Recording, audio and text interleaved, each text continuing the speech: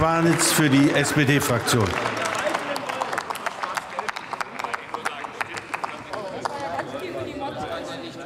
Herr Präsident, meine sehr verehrten Damen und Herren! Wir diskutieren ja heute in der ersten Lesung den Entwurf Einzelplan 10, also den Haushaltsentwurf für 2012 von Frau Ministerin Eigner.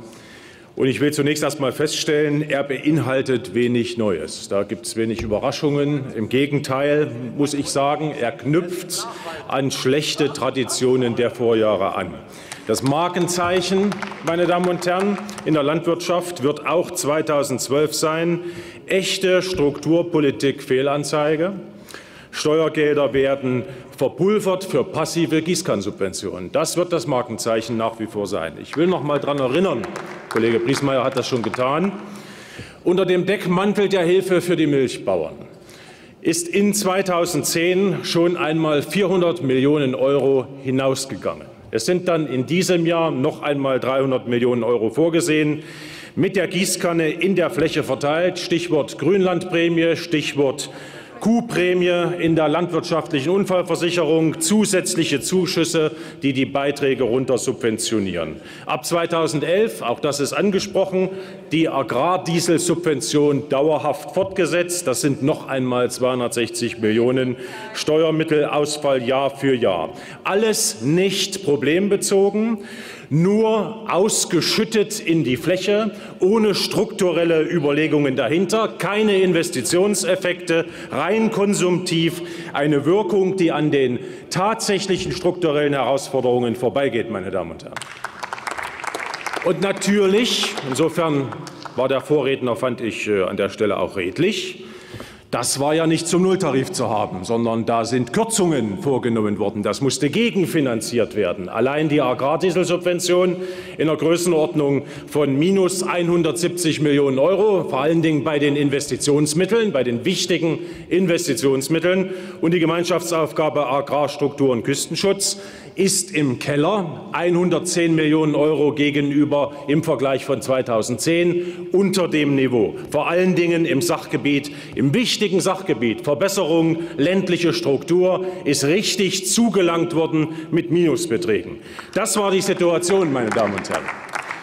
Wer nun also gedacht hat, dass äh, aus dieser Situation weniger Mittel für Strukturpolitik und mehr Mittel in die Gießkannensubventionen wird, dass sich das 2012 ändert, der muss leider bitter enttäuscht feststellen, das ist nicht so. Wir haben bei der Gemeinschaftsaufgabe Agrarstruktur und Küstenschutz keine Veränderung. Es bleibt auf dem abgesenkten Niveau des Vorjahres 0 Euro weniger gegenüber 2011 in diesem Entwurf. Und bei den Gießkannensubventionen passiert das, was Kritiker ja früher eigentlich auch schon befürchtet haben. Obwohl das Sofortprogramm ausgelaufen ist, obwohl quasi in diesem Jahr ja nach zwei Jahren Schluss ist, wird das Ganze nicht auslaufen, sondern die zusätzlichen Subventionen in der Unfallversicherung werden fortgesetzt. Das süße Gift der zusätzlichen Zuschüsse, 100 Millionen Euro, werden weiter geschleppt bis ins Jahr 2014 hinein noch einmal 75 Millionen Euro in 2012 in die Gießkanne, noch einmal 50 Millionen Euro in 2013 und noch einmal 25 Millionen Euro in 2014. Summa summarum 150 Millionen Euro, die hier hineingepumpt werden, ohne dass strukturpolitische Schwerpunktsetzungen erfolgen. Das ist klar rückwärtsgewandte Agrarpolitik, Mittel für Strukturwandel, für Innovationen, für ökologische Ausrichtungen in der Landwirtschaft, für Investitionen werden ausgetrocknet, Mittel der Gießkannensubvention werden aufgebläht und verlängert bis zum geht nicht mehr. Das war das Markenzeichen der letzten beiden Jahre, und das wird auch das Markenzeichen 2012 werden, meine Damen und Herren. Das habe ich vermutet, Herr Schirmbeck. Auch im Bereich der Verbraucherpolitik fehlt eine echte Reformpolitik. Bei der Stiftung Warentest weiß ich nicht, wo der Grund ist, dass Sie sich auf die Schultern klopfen, meine Damen und Herren. Die Zuschüsse werden überproportional gekürzt. Die Aktion Stiftungskapital, die Sie aufgelegt haben, erweist sich schlicht und einfach als das, was wir immer befürchtet haben, nämlich als eine Kürzung der Verbraucherpolitik an dieser Stelle. Auch bei der auch bei der Deutschen Stiftung Verbraucherschutz, meine Damen und Herren, fehlt der Ministerin jeder Wille zur Nachhaltigkeit.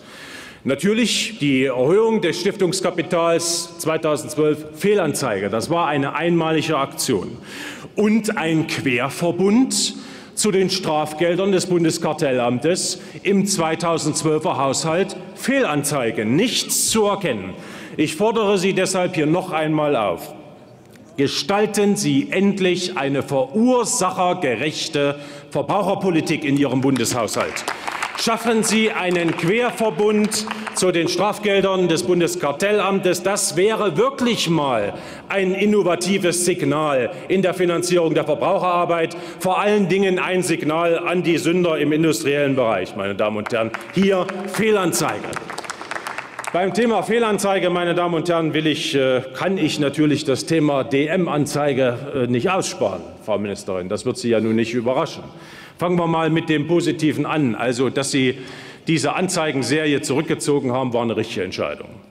Aber dass der Staatssekretär Müller in diesem Anzeigenverbund sich quasi zum Werbeträger einer Drogeriekette macht, empfinde ich als schlicht und einfach eine Sauerei. Das ist mit dem Amtsverständnis eines Regierungsmitgliedes nicht zu vereinbaren, meine Damen und Herren. Und genauso unerträglich, genauso unerträglich empfinde ich es, dass da sogar noch eine Agentur eingeschaltet worden ist und das aus dem Titel Informationen für Verbraucherinnen und Verbraucher finanziert wird. Diese sogenannten Tipps also mehr Obst und Gemüse essen und im Sommer mehr trinken. Das ist an Trivialität nun wirklich nicht mehr zu überbieten. Das hat mit Verbraucherinformationen überhaupt nichts mehr zu tun, auch nichts mit Inform. Also wenn da einigermaßen wieder äh, ein Lot einkehren soll, dann fordern Sie bitte Ihren Staatssekretär auf, er möge das aus seinen Dienstbezügen bezahlen, damit wenigstens wieder Ordnung herrscht. Darüber müssen wir reden, über viele andere Dinge mehr damit das Jahr 2012 nicht zu einem verlorenen Jahr für die Verbraucher und für die Landwirte in Deutschland wird. Herzlichen Dank.